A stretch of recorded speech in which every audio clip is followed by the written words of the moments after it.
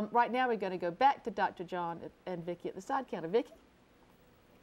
Thanks, Amanda. Um, now, the next plant that Dr. John has is a mystery plant that looks more like he's got a flower arrangement here. What what have you got here? Well, it's beautiful, isn't it? It's, it actually is. And this is a very easy mystery plant for everybody, I'm sure, because it grows everywhere.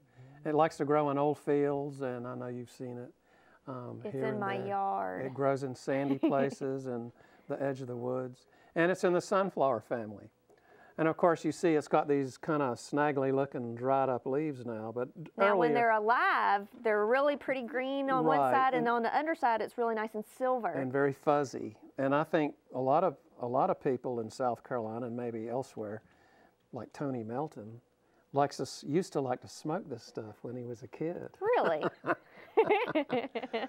Well, we don't really recommend that, but what we do recommend is that people can enjoy, I think, the beauty of these things. After the flowers are finished, these heads will remain on the, um, the end of the branches. And this is actually can behave as, I guess, as one of the, an everlasting plant. So if somebody does want to keep it around, all you got to do is put it in a vase. You don't have to spray it or anything, and it'll be just fine. On now, you've given us some really great hints the, the silver on the bottom side of the leaves, um, and, and that you can, they used to smoke it. and, that um, ma- and rabbits run around it. and rabbits run around it. So, so tell us exactly what it is. Well, it's uh, it's Pseudognaphalium obtusifolium. oh, okay. so it's uh, rabbit tobacco, of course. It's a Very very, common rabbit tobacco, And this looks, it looks wonderful. You can definitely make a flower arrangement out of this. and it sort of it has a sort of a smell that I think Like- is kind of pleasant. It's Kind of syrupy. sort of syrupy, or maybe it smells like a rabbit. but Well- it's nice.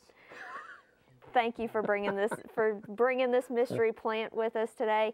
Um, and we're going to see more a little bit later, um, and we'll definitely see some on Saturday. I hope you saved some for Saturday. We're going to have some fantastic mystery on Saturday. Hope everybody will come by to see those things. All right, thanks, Dr. John. All right, back to you, Amanda. Thank you. And we are hoping that everyone will be with us on Saturday. We've got a nice, big, beautiful place at the Sumter Opera House, the pride of downtown Sumter, along with Sumter Iris Garden. So please come.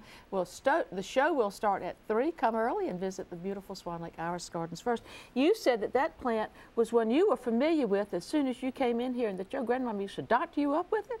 Very much, very much. I remember that plant as a little boy. Uh, whenever I would have a cold, my grandmother would brew it into a tea, and she would call it Life Everlasting or Like a Alaska. And it would really open up your sinus and your breathing system, and you can sleep well at night. Like a Alaska. That's a beautiful, beautiful name.